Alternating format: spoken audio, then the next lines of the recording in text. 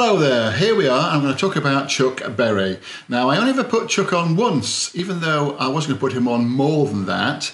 But um, that one time was at the renowned 100 Club in Oxford Street in London, a small club that held 300 people. And um, it was a very special event, and um, quite a lot of exciting things happened. So join me after this, and I'll tell you more.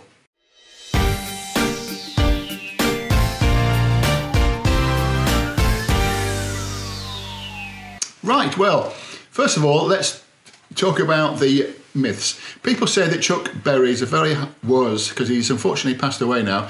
People say that he's a very hard man to get on with, and I didn't find that at all. He was one of the loveliest people I ever worked with, and I think it's all down to the fact that if you treat somebody with respect and you do what they ask you to do and you find out why they want you to do something and you respect their request and you go along with it, you're fine. But I think that other people say he's very hard to work with were not as respectful as maybe I was. So there you go. That's what I think anyway. So, and part of that was he wanted two cars, two white S series, which at the time was the was one of the top. I think it was the top Merc you could get, and of course, he it was for him and his son to drive when they're in London. Now I'm going to admit to a bit of law breaking here because it was pretty obvious that he didn't have a driving license. That was quite obvious from the off because um, the agent wouldn't tell me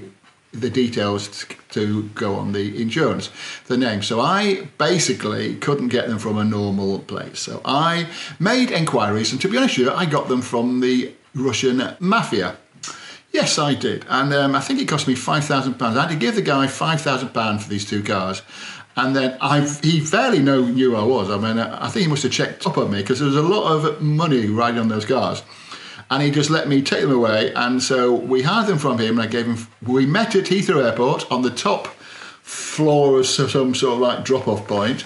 And he, this big, big guy who came over to me and I gave the father a quid and he told me to watch it and not and make sure that I got them back to him on time and etc. And um, then um, Chuck and his manager drove off in them, and that was that. So um, that was the first thing. The second thing is that when we got to the hotel, which was a very nice hotel, I did put them into a very nice hotel, the Sanderson, which is a five star at the back of the Hundred Club.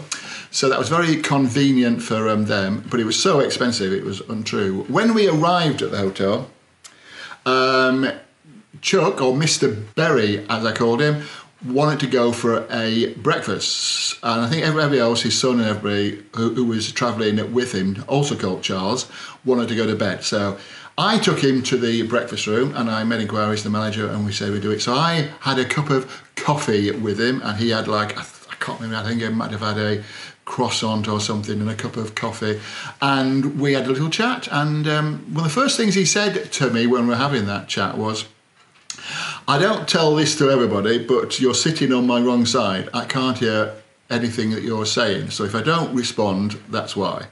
So I changed sides, and then we had a long chat, and I asked him all sorts of things about why he, um, about his reputation, and about why he had his reputation for being awkward. And he told me it's about about the racism he had to go through when he was starting out, and when he was very successful. I mean, when he was even when he was having all these hits, and he was still being discriminated against in the especially in the United States, and it was absolutely awful. And he was saying how he would go and do a show, say with Jerry Lee Lewis and whoever else, with say I don't know Jerry Lee Lewis and Carl Perkins or whatever, and he'd be having to stay in a shack on the edge of town, and they'd be put up in the in the Marriott, the five star Marriott in the town, and yet he'd be the one with all the hits, and they'd be the ones who were paid more than him and treated better. So that's why he that's why he did his show and then if they wanted more, he said, oh, I want some more money. This is in the backdrop of knowing that Jerry Lee Lewis, for example, who was white, obviously, was being paid maybe twice as much as he was being paid.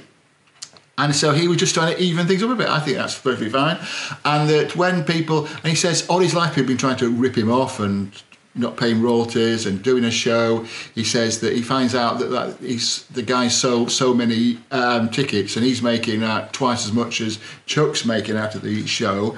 And so he says, well, if you want to me to do an encore, then let me have some of your additional earnings. I mean, that's fair, I think. So there you go. So I didn't. Um, I wasn't ripping him off. We had, I was paying him quite a lot of uh, money, put him in a five-star hotel, the two Mercs, and I was putting him on in a club that held 300 people, but I was charging, I think, 149 pounds each. And I tell you what, it was a fantastic show because um, the support band I put on was Nine Below Zero, who were fantastic, and they would headline and sell out the 100 Club in their own right. So I was giving extra value. I think that's the important thing. If you're charging people 149 pounds, you've got to give them extra value. And the interesting thing was that he came off, and the DJ, who was, I think was Mark Lamarr, I think, the radio man, immediately put a record on. And then in the dressing room, Chuck's Charles, Mr. Berry, said to me afterwards, um, Well, that's a bit of a shame because I was going to do an encore. Right, what are the chances of that? Because he, he's got a reputation of never being encore, which obviously Mark knew that. Anyway, going back to my original story about the cup of coffee I had with Chuck Berry in the morning of his arrival, which I think was Easter Sunday actually, 2008, just to get it into perspective. Um, I was charged £32 for that because basically it was £32 for breakfast and I was staying in the hotel and they charged, and that was like considered I had had a breakfast. So there you go. So that was a very expensive cup of coffee, but well worth it. I learned so much and I really got to know it. And we had a couple of more chats like that. We didn't have long together, but it was he was a really good guy. He really was, and I really appreciated it. And then when he came back to play, I think the Hackney Empire, he and his son and everybody welcomed me into the dressing room and I was treated like an old friend. It was like fantastic. And it's just a shame that he's now dead because um, he was one of the gentlemen of rock and roll and a truly iconic artist. I mean, I've got more Chuck Berry stories. Maybe I'll tell you another day, but that's it for now. Thank you for watching. If you liked it, please like. Like down below. If you didn't like it, then you know what to do. And please subscribe and press the notification button because I do videos on my memories in the music industry and also about writing because I'm a writer apart from anything else. Um, and also about just basically about things that take my fancy. So if you think you might like things that take my fancy, please subscribe. Press the notification bell to be notified of my future videos and um, of course comment down below. Let me know what you think and so I'll say goodbye. See you next time. Bye. Now is the time to say goodbye. Goodbye. Now is the time to yield the sigh. Oh, yield that sexy sigh, baby doll. Now is the time to wend away. Let's wend until we meet again. Some sunny day. A goodbye, goodbye. We're leaving you, skidly A goodbye. We wish you for goodbye. For the daughter, a the lotta, a goodbye, goodbye. We're leaving you, skidly A goodbye. We wish you for goodbye. For the da da da.